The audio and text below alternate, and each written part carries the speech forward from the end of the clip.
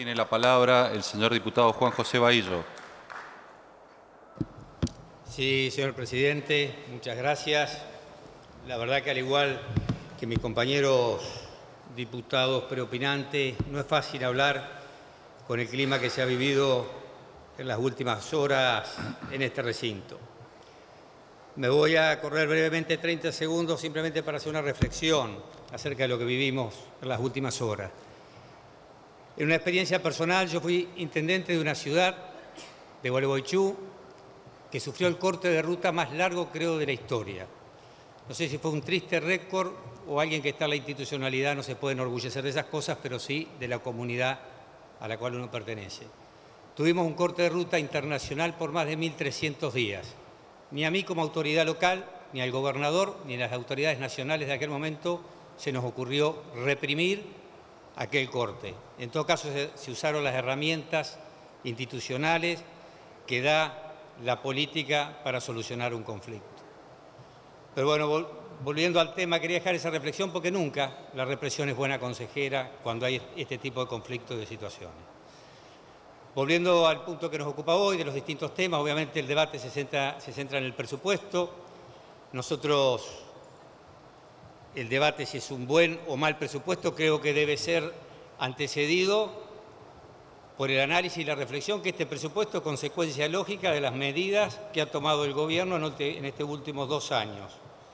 Es un presupuesto que refleja un país que se achica un país que tiene serios inconvenientes en su nivel de actividad económica, un país que en el cual los problemas no van a empezar con este presupuesto y si de alguna manera este presupuesto los va a profundizar, pero los problemas empezaron ya hace bastante tiempo. Cuando ni bien asumieron, hicieron un brutal ajuste en el sistema tarifario. Vías dos cuestiones. Una eliminación muy fuerte de los subsidios, que este bloque, acompañado de otros bloques, pidió que esa eliminación gradual de los subsidios, que era una tarea que seguramente había que ser, pero que medianamente acompañe la recomposición del salario o del poder adquisitivo. No sancionamos una ley en ese sentido que fue vetada por el Poder Ejecutivo. Eso deterioró fuertemente la economía de las familias, el poder llegar con tranquilidad a fin de mes y también afectó notablemente a la inflación. Después, con respecto a las tarifas, también dolarizaron las tarifas y después no logran controlar el dólar, con lo cual tenemos un doble perjuicio con este tema, porque además, al estar dolarizadas las tarifas, también eso impacta notablemente en, en toda la estructura de costos de todos los sectores productivos. La matriz de costos de todos los sectores productivos de nuestro país está fuertemente dolarizada lo único que quedaba en pesos eran los servicios, eran la logística y los recursos humanos, el personal. Hoy tenemos la logística dolarizada porque dolarizaron también los combustibles, tenemos los costos dolarizados por la dolarización de la tarifa y lo único que queda en pesos y perdiendo cada vez más participación es el salario de los trabajadores. La política monetaria también es uno de los antecedentes que por qué tenemos un mal presupuesto. Pretenden que con fijar el tipo de cambio, las tasas, el circulante, los distintos bonos y las herramientas que tienen para manejar la política monetaria van a resolver la compleja y diversa trama productiva que tiene este país. La verdad que eso es desconocer la realidad del interior, desconocer la realidad de las economías regionales y es desconocer también fuertemente la importancia que tiene en este país el mercado interno y el consumo que está sostenido por el poder adquisitivo del salario de nuestros trabajadores permitieron un ingreso irrestricto de capitales, una apertura al mundo casi de manera ingenua, en dos sentidos. Primero, con productos terminados que atentaron contra el trabajo y la producción argentina en un contexto recesivo. Eso generó más inconvenientes para todos los sectores productivos, poniendo en riesgo también la mano de obra argentina. Y después con un ingreso de capitales que no fueron a la inversión genuina y productiva, encima en el medio pasaron cosas, y se terminaron yendo todos juntos e impactaron notablemente en el tipo de cambio. Todas estas cosas fueron las cuestiones que generaron los antecedentes para tener este presupuesto. Los problemas empezaron mucho antes y no empiezan con este presupuesto. Ahora nosotros también, los que vamos a acompañar este presupuesto junto con los gobernadores o con un trabajo con los gobernadores también reflexionamos cuál es el mal menor. Si que un país que no tenga presupuesto o un país que tenga presupuesto. Si un país no tiene presupuesto, más allá de las mejoras que ha tenido este presupuesto, le estamos permitiendo al presidente un manejo discrecional de más de un billón cien mil pesos. También estamos permitiendo, o de alguna manera, por acción o por omisión, estamos permitiendo que este mal presupuesto, que prevé un incremento interanual del 42% de los recursos tributarios, le asigne solamente un 29% en salud, un 36% en prestaciones de seguridad social, un 35% a las universidades y un 21% en educación y cultura. Bueno, si no tenemos presupuesto, ese incremento puede llegar a ser cero o puede quedar a voluntad discrecional del presidente de la Nación, para lo cual nosotros creemos que eso es perjudicial para los argentinos y para los ciudadanos.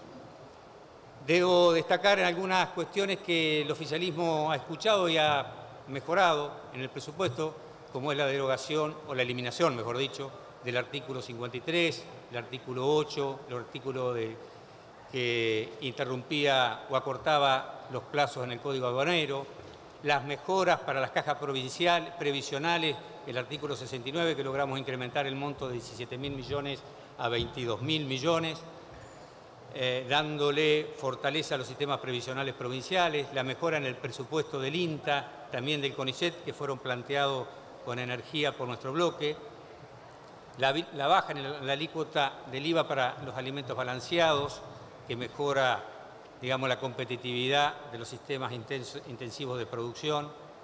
Para nuestra provincia en concreto, en particular, debo celebrar que hemos logrado, hemos recuperado en el artículo 15, en el segundo párrafo lo dice claramente, la automaticidad de los fondos excedentes de la represa de Salto Grande. Por dos leyes que anteceden estos fondos tenían una automaticidad que ya desde el año 2007 habíamos perdido, se llegaban los fondos, pero ya no con la automaticidad que las leyes lo indicaban. Esto es muy importante para la región de Salto Grande y para el desarrollo y el crecimiento de nuestra provincia. También se lograron 6.500 millones para fortalecer lo que es la adenda del consenso fiscal y también la eliminación del concepto de grabar ganancias a cooperativas y mutuales por el reemplazo de otro eh, impuesto más progresivo. Ahora, estas mejoras que nosotros eh, enumeramos no lo transforman al presupuesto en un buen presupuesto, pero creemos que humildemente de nuestro lugar es mejor tener un presupuesto que no tenerlo. Ahora tenemos que salir, también entiendo yo, de esta discusión que es estéril y es cortoplacista y es mezquina, si tenemos que tener o no tenemos que tener presupuesto, más allá de la importancia de esta herramienta, porque es, discutir la coyuntura, es una, es una discusión mediocre. Lo que tenemos que discutir es cómo hacemos para tener otro presupuesto. Y para tener otro presupuesto tenemos que cambiar el modelo de país, tenemos que cambiar el modelo económico. Y para eso hay que tomar medidas que realmente den vuelta a este modelo de, manera diametral. Tenemos que recuperar el salario con su poder adquisitivo para dinamizar el consumo interno, para así recuperar el nivel de actividad económica. Tenemos que tener políticas de inversión que sean realmente genuinas y que vayan al desarrollo productivo y no a la especulación y a la renta financiera. Tenemos que alentar que crezca el sector exportador, pero no en detrimento de la matriz del consumo interno. Tenemos que tener más educación, tenemos que tener tarifas razonables que acompañen el crecimiento o la preservación del poder adquisitivo del salario de los trabajadores argentinos.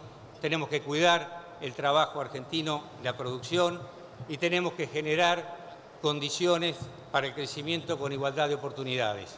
Porque en definitiva el crecimiento con igualdad de oportunidades, eso es desarrollo y eso nos va a llevar a un país mejor. Por último, nada más que para hacer una última aclaración con el tema, porque nos han de alguna manera instalado el tema de la gobernabilidad como una bisagra con este presupuesto. El presupuesto es una herramienta importante, pero, pero no es mágica y la gobernabilidad no se logra ni es un cheque en blanco a partir del presupuesto. La gobernabilidad se logra dándole contención a las familias, evitando los despidos, evitando el deterioro de la sociedad argentina y con un programa de país que incluya la contención y el crecimiento y la igualdad de oportunidades para todos. Muchas gracias. Gracias, señor diputado.